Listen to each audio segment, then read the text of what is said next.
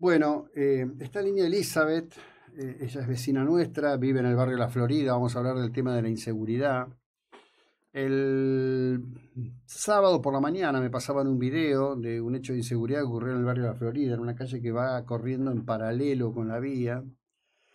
Allí aparece, hay un vecino que va a recibir un delivery, se le aparecen dos muchachos armados, este, se le suben al auto, no lo pueden poner en marcha, ven salir otro auto de otro lado y se bajan de ese y van corriendo a, robar el otro. Eh, es insoportable, verdaderamente. La verdad que es insoportable. Y mm, esto es un tema que además en el barrio de la Florida tiene antecedentes porque, bueno, nos lo va a contar Elizabeth. Elizabeth, buen día, ¿cómo le va? Hola, buenos días. Bien, ¿es una constante en el barrio esto? ¿Cómo? ¿Es una constante este tipo de situaciones en el barrio?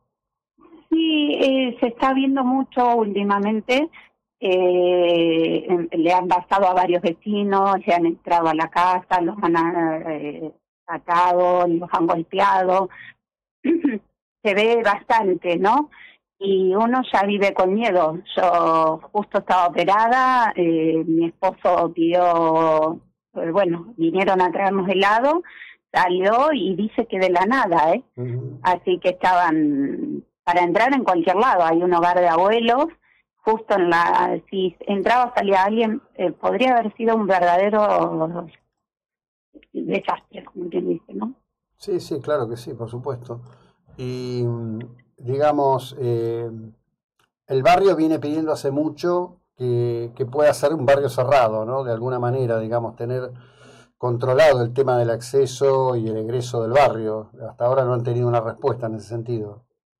No, no, estaba hablando con una vecina que mm, viene luchando mucho, que ya se cansó de, de, pedirlo, pero bueno, eh, tenemos, eh, nos juntamos, eh, bueno, estamos haciendo todo, poniendo alarmas vecinal, todo, pero bueno, ya no les importa nada, es con cámaras, las casas tienen todas cámaras, están todos los vecinos conectados, todo, pero igual eh, pasa, nos roban de afuera de las casas las ruedas de los autos, eh, se meten, se meten a los patios, eh, es eh, ya es eh, frecuente esto, ¿no? Claro, sí, sí, frecuente, pero bueno, lo horrible de esto es que de alguna manera, este, no sé, no podemos acostumbrarnos a esto, ¿no? Tiene que haber una respuesta De, de, otro no, tipo. No, yo, yo estoy con ataque de pánico en este momento porque ya no se puede, no se puede entrar, salir, no, están, es como le decía yo a mi esposo, ¿dónde sale? De la nada salieron, dice.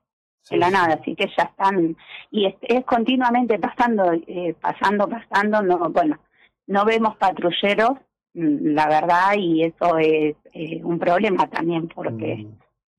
eh, si bien actuaron rápido y todo, pero eh, el susto fue muy grande y ya lo pasaron muchos vecinos acá en la zona ya es, ya está, el barrio está así. Sí, sí, sí, es, un, es una cosa que uno vive con, voy a usar una expresión que usaba mucho mi mamá, con el Jesús en la boca, ¿no? Eh, sí, sí, sí. Preguntándose, ¿y, cuándo me toca a mí o, o como fuere, ¿no? Eh, el auto que le robaron a la chica me dicen que apareció después. Este, eh, yo no he hablado con mi vecina porque eh, no he hablado, pero bueno, eh, fue terrible porque con la rapidez que se metieron por la ventana, la ventanilla del auto, uno de ellos, eh, bueno, los dos con arma, ¿no? Los dos con arma, después se cruzaron, era una nena esta chica, 20 mm. años tiene, así que se cruzaron y y eh, de la manera que salieron también, por si alguien viene caminando, lo que sea. Terrible, la verdad que terrible. bueno, gracias por el testimonio, ¿eh? te deseo lo mejor. Espero que esos ataques de pánico que son horribles pasen pronto. Muchísimas gracias. Esperemos que haya alguna ah. ayuda para el barrio. Algún día tendrá que haber una respuesta para todos, y no importa en qué barrio vivamos. Gracias, gracias. gracias, hasta luego. Hasta luego. Bueno, esta es Elizabeth, esto es así este, se, vive, se vive muy mal y